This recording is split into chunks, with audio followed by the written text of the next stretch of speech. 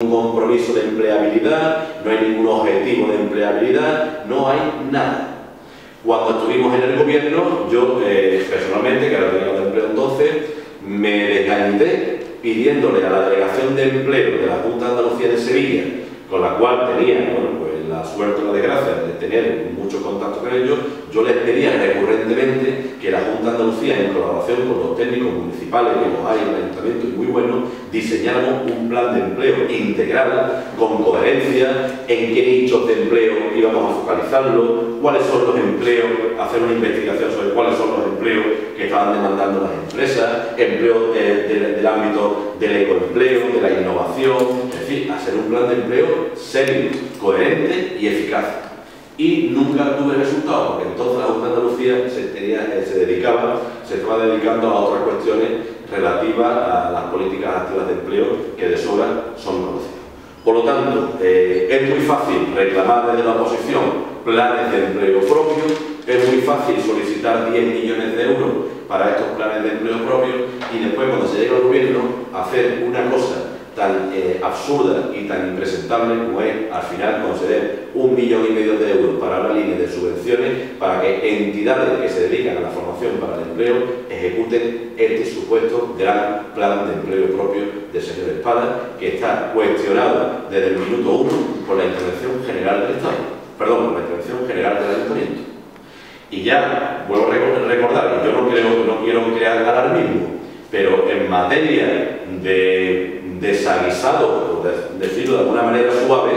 ya tenemos eh, experiencia en materia de empleo en esta comunidad autónoma. Por lo tanto, cuidado con volver a repetir cuestiones que están en los tribunales.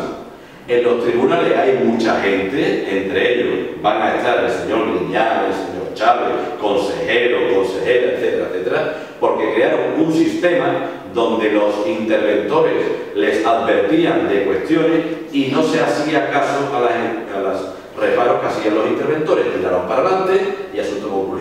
Aquí se ha aprobado el plan de empleo en la Junta Municipal de Gobierno a pesar de los reparos de la intervención. A pesar de que el interventor, entre otras cosas, haya dicho que hace falta un certificado donde la Junta de Andalucía acredite que no se están, eh, que no se están desarrollando competencias impropias. Y el ayuntamiento le ha contestado al interventor que bueno, que no son competencias impropias, que son cuestiones que se venían desarrollando antes. Y el interventor le ha vuelto a contestar al gobierno municipal que estas cuestiones del plan íntegro parecido antes no se hacían en este gobierno, en los gobiernos anteriores, y no se hacían sencillamente porque eran de dudosa legalidad, no porque nosotros tuviéramos un deporte que consistiera en fastidiar la vida a la gente no haciendo planes de empleo, sino porque eran ilegales y por tanto no podemos someterlo a aprobación de la Junta de Gobierno. Y a pesar de eso, el gobierno municipal ha aprobado este plan integra sin el certificado de la Junta de Andalucía y sin resolver las, las, eh,